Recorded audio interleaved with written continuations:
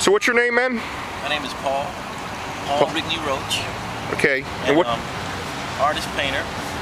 I like to paint, and I can be anywhere in San Francisco. But lately, I'm um, I'm painting on Polk Street and Vallejo area a lot, and um, maybe three or four days a week. And uh, I can be reached at uh, 510-435-5293.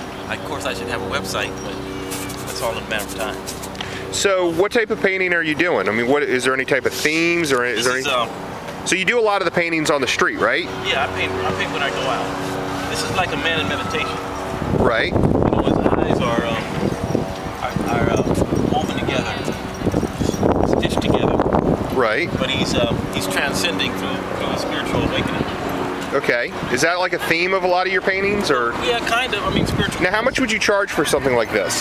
Something like this, really, honestly, I probably would sell it off the street for about sixty dollars. But I know I should sell it for a hundred, so I probably want a hundred for it.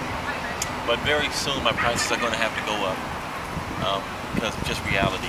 But I normally would sell a piece like this. I could sell it for like two fifty three back in the day. But now I want people to have my work. The economy's messed up. Um, well, money issues, but at the same time, I'm very prolific, and so I want people to have my work. I want them to have it on, my, on their wall, you know. So um, my prices have, have reduced tremendously because I have to keep painting. Right. Like a piece like this, I should really sell this for about oh four fifty, but I probably will let it go for two hundred dollars. So if people call you on that number that you just gave out, and could you give that number again? Yes, um, 510-435-5293. And where else can they find you?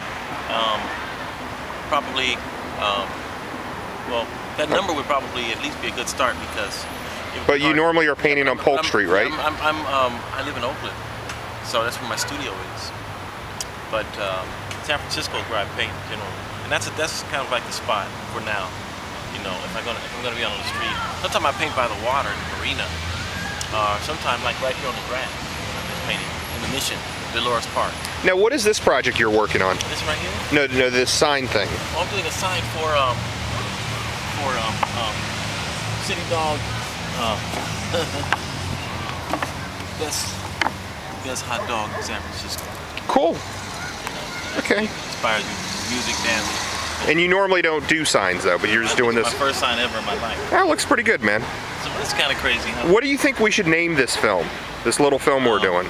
Uh, let's see.